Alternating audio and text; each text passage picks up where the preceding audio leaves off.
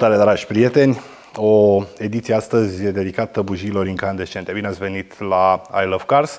iCars sau iCars sau spuneți cum vreți tot aia iCars.ro, site-ul uh, nostru. Ne găsiți pe canalul de YouTube cu toate filmulețele făcute până acum. Cele mai multe dintre ele la sugestia voastră, astăzi tot la sugestia voastră, deși a început vara, suntem în luna iunie, discutăm despre bujiile incandescente la motoarele diesel, extrem de importante din foarte multe puncte de vedere, deși există tot felul de legende pe piață, tot felul de explicații tehnice care nu iau în calcul faptul că și aceste bujii incandescente sunt de mai multe feluri și că de-a lungul vremii ele au evoluat.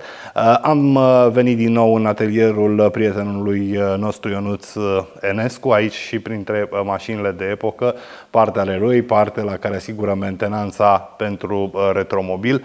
Uh, stau sprijinit de acest uh, superb exemplar de Golf 1, o mașină legendară, întreținută tehnica la carte. Mai sunt câteva aspecte la capitolul estetic la care se va lucra în perioada următoare. O să-i facem și eu o prezentare într-una din edițiile viitoare ICARS România. Deocamdată astăzi vorbim despre bujii incandescente, cât de importante sunt și de ce e bine să le verificăm chiar vara, deși Uh, cel puțin la motoarele vechi, funcționalitatea lor este utilă mai ales în timpul sezonului rece, să zicem sub 5 grade Celsius, dar încă o dată sunt mai multe tipuri și vom discuta uh, detaliat despre ele, ce trebuie să știți și mai ales ce mare greșeală să nu, să nu faceți, o greșeală care vă poate aduce mari probleme atunci când credeți că le puteți schimba singuri.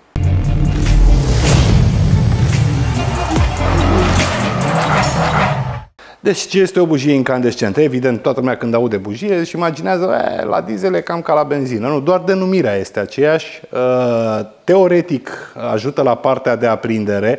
La motoarele pe benzină tot timpul întrețin partea de aprindere dând scânteie. Aici e cu totul altceva. Aici este vorba despre încălzirea amestecului din camera de ardere, pentru că fără această încălzire ați observat atunci când una din bujii cedează, când releul tuturor bujiilor de la diesel cedează sau uh, când aveți probleme în, în funcționare, mai ales în sezonul rece, pleacă foarte greu mașina, motorul merge trepidat până se încălzește, aveți fum în spate cât să-i nebuniți pe ăștia cu încălzirea globală și cu poluarea, deci o grămadă de probleme. Vă spunem în mare tocmai pentru că știm că cei care aveți motoare diesel v-ați confruntat cu astfel de probleme, cei care sunteți la început ați observat, dar nu știți de pe unde ar putea să vină uh, povestea asta cu fumul și cu mersul trepidat și așa mai departe. Uh, domnul Ionuț, v-am spus că venim aici la prietenul nostru, consultantul nostru de specialitate, domnul Ionuț Enescu. Salut, Ionuț! Vă salut, bine ați revenit în sufrageria mea. Bine, bine te-am regăsit. Bun, uh, cu caracter ilustrativ ne-am sprijinit de acest uh, Citroen. Uh, cum e, e o mașină bună așa în principiu? Hm? Da, modelul acesta da. Da? A fost bun, da. Știu că mulți încă... se, se feresc. Au un preț de achiziție acum second foarte mic, deci e ok. Da, de o mașină au... pe care dacă o întreții, ok? Da, este foarte rezistentă. Ține cu proprietarul, nu cu firma producătoare. Super tare. Motor, motorul acesta este un pic mai mare, diesel, dar uh, merge.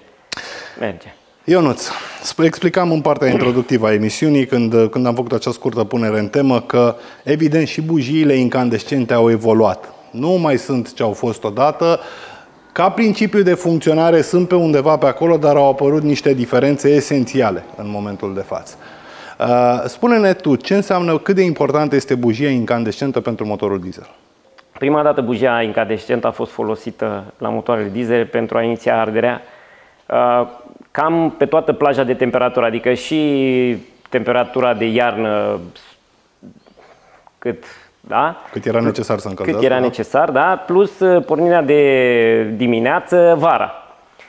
La mașinile moderne după, uh, după anul 2000, uh, această bujie, în afară de pornirea la rece care uh, poate fi folosită de către calculator, adică intră funcția bujiei incandescente, intră cu ajutorul calculatorului când temperatura ambientală scade sub 5 grade. Deci nu mai este o comandă uh, electrică simplă, este o da. comandă de, dată de calculatorul de calculator. mașinii, da, o comandă controlată, electronică. Controlată de calculatorul mașinii. Deci odată o folosește, mașina modernă o folosește bujia incandescentă pentru pornirea la rece când temperatura ambientală scade sub 5 grade, dar în același timp mașinile ultramoderne da, folosesc bujiile pentru a uh, scade noxele, Euro 5 și Euro 6. Asta însemnând că punerea ei în funcțiune, aprinderea capătului, da, Da.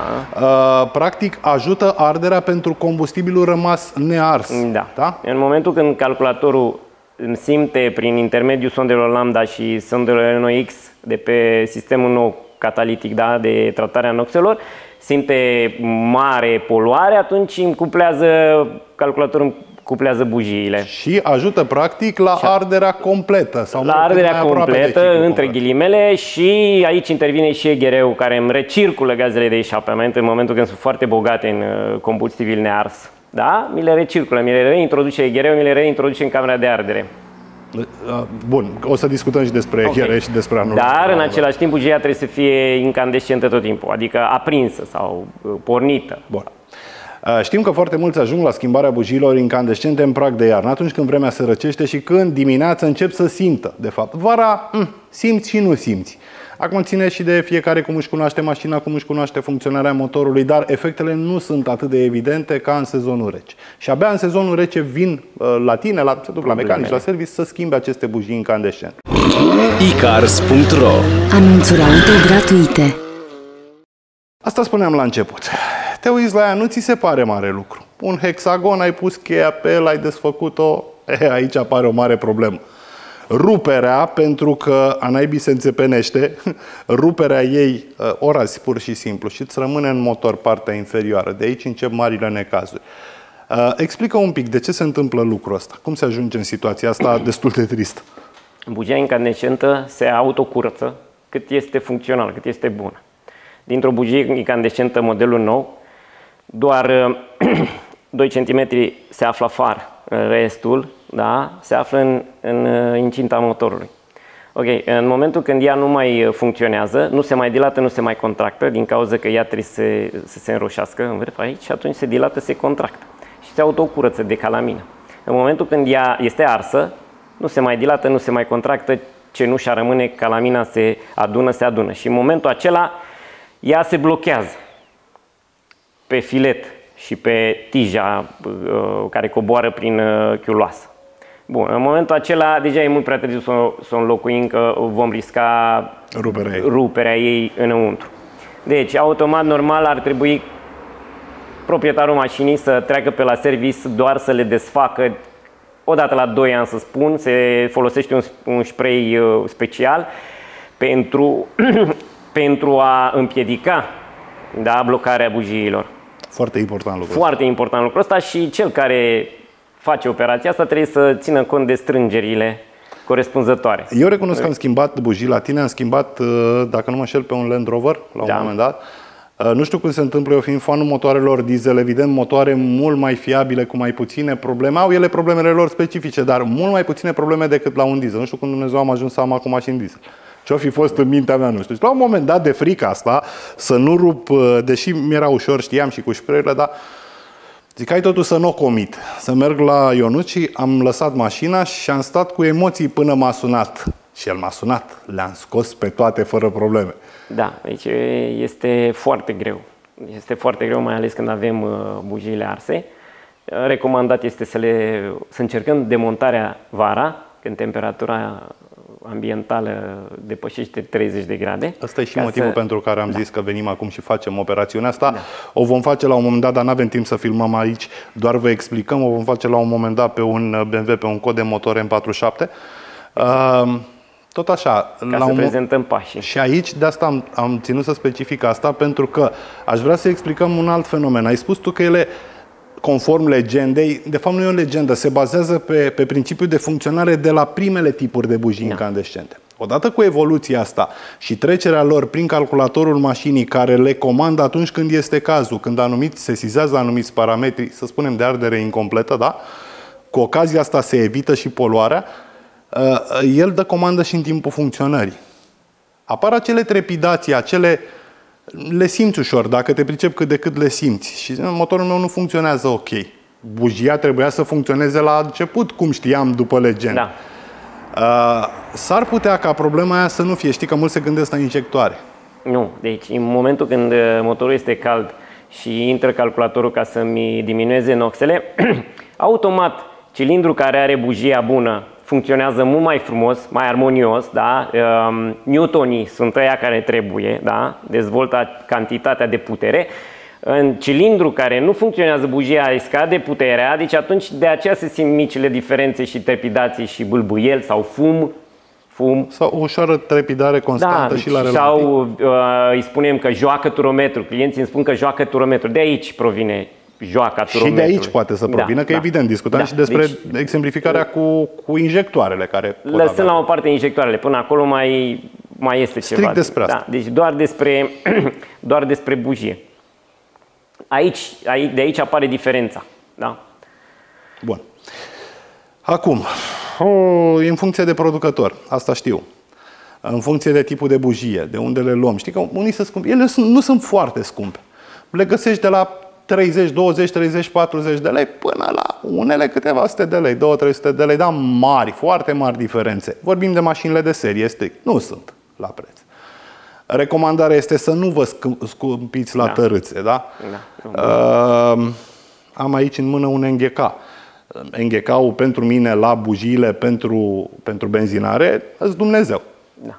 Da? Și în cazul nostru la fel. Mergem Și, pe și, la, NGK. și la asta vreau să te întreb. Da, la bujia incandescentă mergem pe NGK în continuare pentru că au anumiți parametri și cote fixe și finisaj superior. Asta mă interesează extraordinar de tare. După aceea mai jos un pic denso. Și după Sunt unii am văzut recomandă Beru, Beru, da, dar am probleme la calibraj, la din pasul filetului, mici diferențe foarte fine, da? adică le-am măsurat cu micrometru și apar mici diferențe și atunci culoasele unele sunt deja deformate de uh, liniuțe sau știu, de da. supraîncălziri și așa mai departe și avem probleme cu, cu acele bugii. Da, Bosch, Beru, nu că nu sunt, dar eu merg pe, pe chestia asta. Gradul era, mare de era cândva finisaj mă Bosch, să știi interesează că de pe mine. câțiva ani de zile am cam renunțat la Bosch din, la multe capitole și la componente pare electronice. rău de ei, am avut dar- niște experiențe nefericite cu cei de la cu produsele lor, de la Bosch, Da, inclusiv dar au calculator. început să, să producă frigidere și mașini de spălat, deci nu ai cum să fii bun în toate. Sunt departamente Deci, diferite. Da, dar nu ai cum să fii bun chiar în toate așa. Dar uh, dacă vorbim totuși de calitate, da, într-adevăr, dacă îmi confirm că și la diesel e ca la benzinare, uh, sincer răspund și aici nu e vorba de reclamă, e vorba de, de experiențe, pentru că am experimentat și altele. Uite, am experimentat inclusiv uh, bobine de inducție pentru, pentru benzinare. Da. Oh, am pus bobine neconforme. Nu era vorba de scumpit la tărâți, am vrut să încerc. Hai să încerc de la alți producători, știi, aftermarket-urile astea care oferă tot felul de soluții. Te iei cu mâinile de cap, știi, la motoare de șase pistoane simți imediat Da. diferența. Produsul, calitatea produsului. Cal- nu, categorie, vorba, vorba mea este că minim Bosch.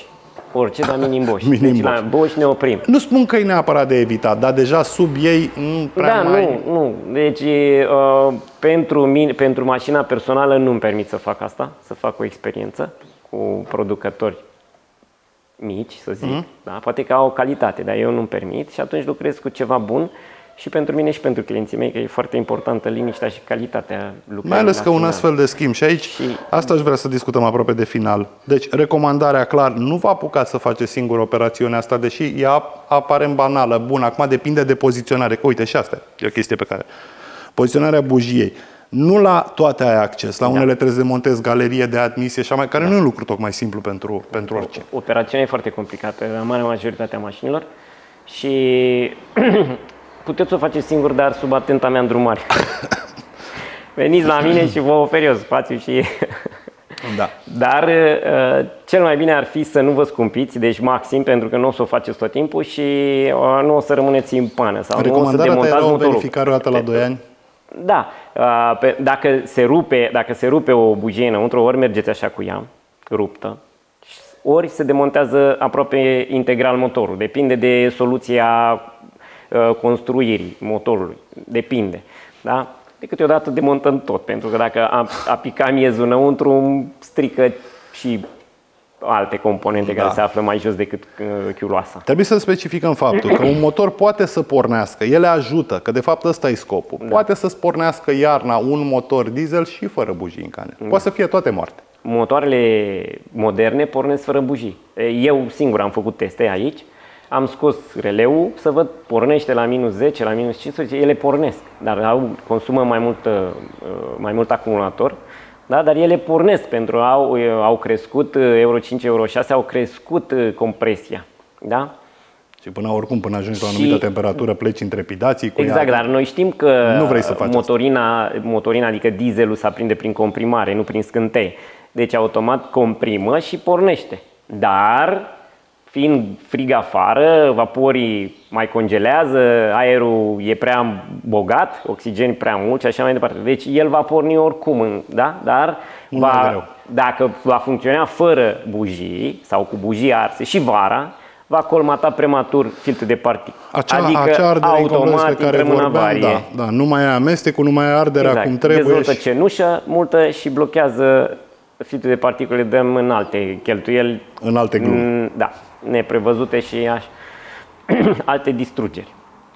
Deci astea, astea sunt recomandările de bază foarte important. Pare ușor, nu vă hazardați să umblați singur să faceți asta decât dacă ați mai făcut-o și aveți ceva experiență și atenție, niciodată nu forțați. E foarte da. important. Se rup atât de ușor. Ele lucrând la 800-1000 de grade. Uh, normal, e metal, oricât de bun ar fi. De da? obicei, uh, mantaua este din crom. Uh, ne, ne, dă, ne dă senzația, la început ne dă senzația că se slăbește, de a se rupe. Pentru că așa e crom.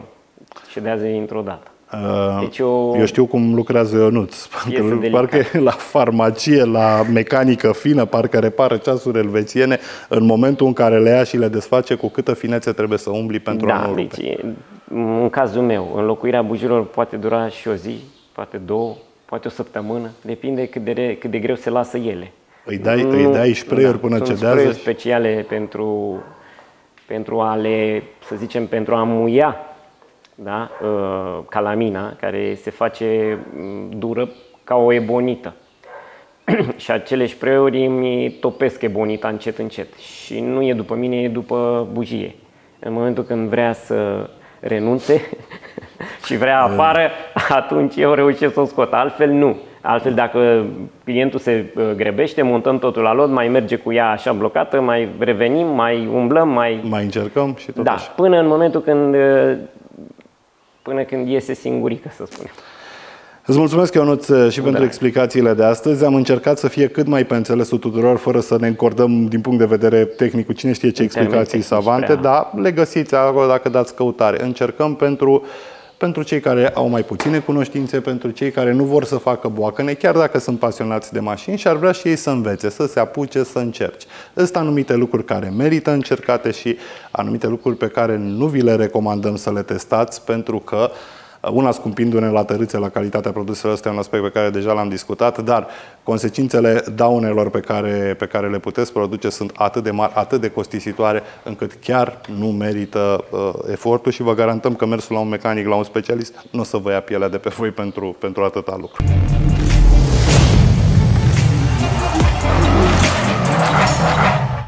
Să sperăm că ați prins ideea, că v-ați ales cu esențialul, cu ce este mai important despre bujiile incandescente. Evident că nu facem școală de mecanică auto, este uh, logic asta. Poate nu suntem nici în măsură, suntem doar pasionați și apelăm la specialiști pentru uh, poveștile de finețe.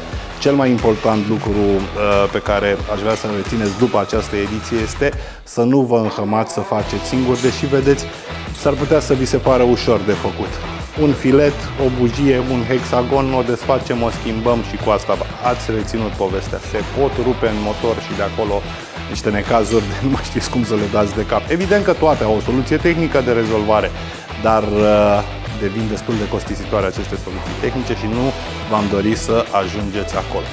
Până data viitoare, nu uitați numărul nostru de WhatsApp unde ne puteți scrie, unde ne puteți trimite sugestii, evident și în comentarii și pe pagina noastră de Facebook și pe uh, Instagram și pe uh, canalul de YouTube Cars România 0785075111 numărul uh, nostru de telefon și de WhatsApp. Așteptăm în continuare sugestiile voastre. Nu uitați like and share. Vă mulțumim mult pentru uh, susținere și vom continua.